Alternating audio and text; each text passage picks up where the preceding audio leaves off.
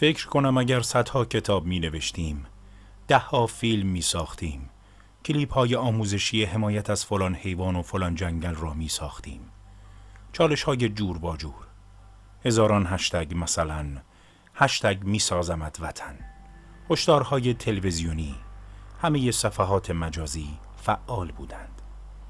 هزاران مقاله را محققان به رشته تحریر در می آوردند و با یک اتحاد و اراده کامل دلسوزان عرصه هستی صبح و ظهر و شب مسیر درست را به ما یادآوری می کردند و به خوردمان می دادند که دادند.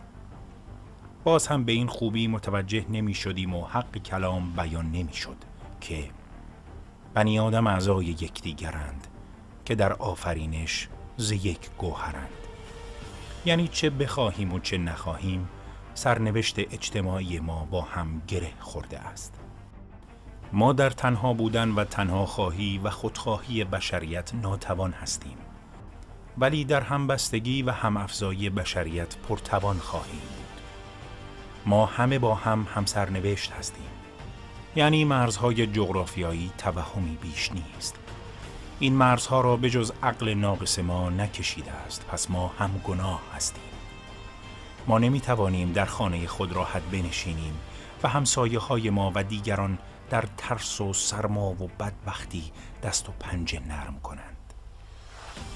ما نمی توانیم اقتصاد را صرفاً برای خود نگه داریم و بقیه تماشاگر باشند.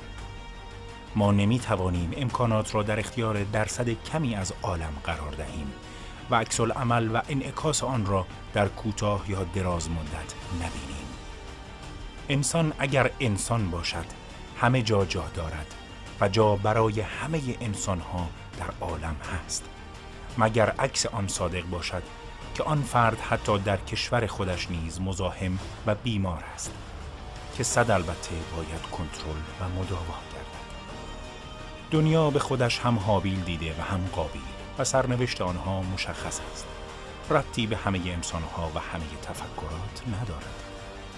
نمی‌توان تا ابد سلاحها جهت کشتن انسانها فقط در یک گوشه از دنیا ساخته شود و فقط و فقط در یک گوشه دیگر جهان از همانها استفاده شود.